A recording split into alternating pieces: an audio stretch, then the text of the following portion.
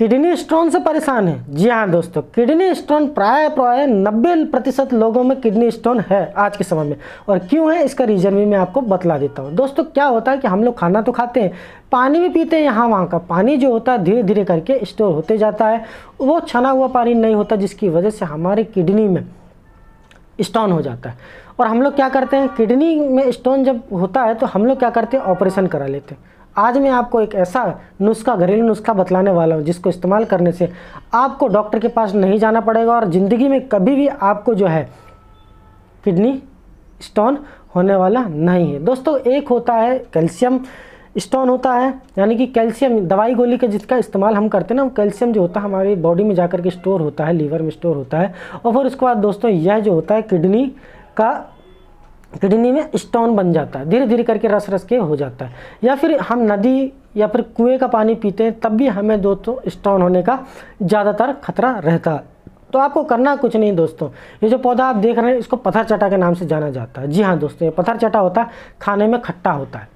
इसका दोस्तों इस्तेमाल करके आप अपने स्टोन को दूर कर सकते हैं। स्टोन को धीरे धीरे करके आप बिगर ऑपरेशन के कितनों भी चाहे 2.5 पॉइंट mm पथरी हो या फिर 3. थ्री एम mm की पथरी क्यों ना है? उसको तोड़ तोड़ के बाहर निकाल देती? एक ही बार में तोड़ करके नहीं निकाल देती धीरे धीरे करके निकाल देती। पहले क्या होता था दोस्तों?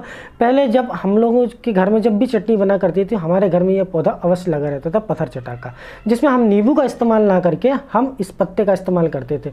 और इस पत्ते में दोस्तों, इस पत्ते में इतनी खटास होती है और इतनी इतनी एंटी इन्फ्लामेटरी गुण होता है, जिसकी वजह से हमारे बॉडी में रक्त को इतनी तेज़ी से साफ़ करने वाली होती है।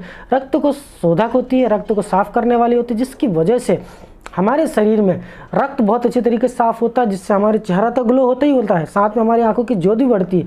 और दूसरी चीज़ दोस्तों, यह हमारे जो स्टोन जो बन रहा है ना, उस स्टोन को इसमें एक ऐसा केमिकल पाया जाता है जो स्टोन को तोड़ने में मदद करता है। धीरे धीरे धीरे धीरे स्टोन को तोड़ करके हमारे मूत्र मार्ग से बाहर कर देती है, जिससे हमें ऑपरेशन की आवश्यकता नहीं पड़ती है। यह जो देख रहे हैं ना, आप देसी ये पत्थर चटा है। इसका इस्तेमाल आप कर सकते हैं, बिल्कुल भी फ्री है और बिल्कुल भी किसी प्रकार का कोई साइड इफ़ेक्ट नहीं इसकी चटनी बना करके आप सेवन कर सकते हैं।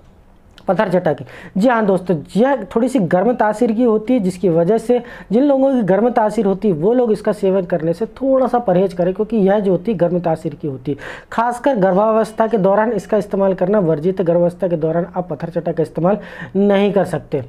गर्मी के समय में भी आप इसका इस्तेमाल कर सकते हैं, सिकंजी बना करके इस्तेमाल कर सकते हैं, या फिर इसकी चटनी में थोड़ा सा आम मिला करके, पुदीना मिला करके, आम, धनिया, पुदीना, ये जो चटनी अपन बनाते हैं ना आम के, उसमें थोड़ी एक पत्ता डाल करके आप अच्छी तरीके से इसका खटास का इस्तेमाल कर सकते हैं।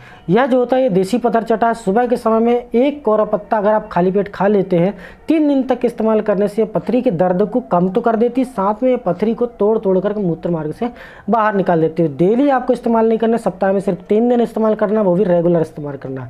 अगर आप इसका इस्तेमाल करते हैं और इस्तेमाल करने के बाद अगर आपको किसी प्रकार की कोई तकलीफ़ होती तो आपको ये छोड़ देना है उसके बाद नेक्स्ट मंथ आपको फिर से इस्तेमाल करना है। तो इससे आपकी पथरी जो होगी, टूट करके बाहर निकल जाएगी। वीडियो अगर पसंद आते वीडियो को लाइक ज़रूर कीजिएगा चैनल को अगर आपने अभी तक सब्सक्राइब नहीं किया तो चैनल को सब्सक्राइब करके नोटिफिकेशन बेल को ऑल कर लीजिएगा, जिससे आपको हमारे और भी आयुर्वेद से रिलेटेड वीडियो मिलते रहेंगे। आज के लिए इतना ही। कैफ़े मिलेंगे किसी आयुर्वेदिक पौधे और उसके उपचार के साथ में। तब तक के लिए इजाज़त दीजिए। हर हर महादेव।